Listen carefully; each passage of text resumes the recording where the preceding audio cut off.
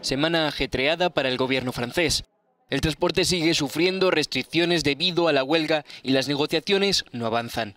El Ejecutivo y los sindicatos se culpan mutuamente. Un bloqueo que va camino de afectar a los desplazamientos vacacionales de Navidad.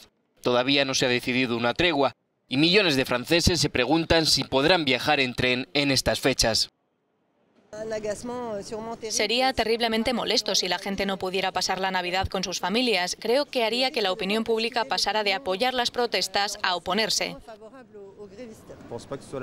No creo que sea el momento adecuado para extender esta protesta. Es un tiempo para estar en familia. No creo que sea una buena solución. La compañía de ferrocarriles SNCF se prepara para un plan B en caso de que la huelga se prolongue. Informará a los usuarios este martes de si deben mantener o no su billete para esos días. Según la compañía, la mitad de los viajeros podrían verse afectados por cancelaciones o retrasos y algunos ya buscan alternativas. Nos hemos anticipado, vamos a usar el coche.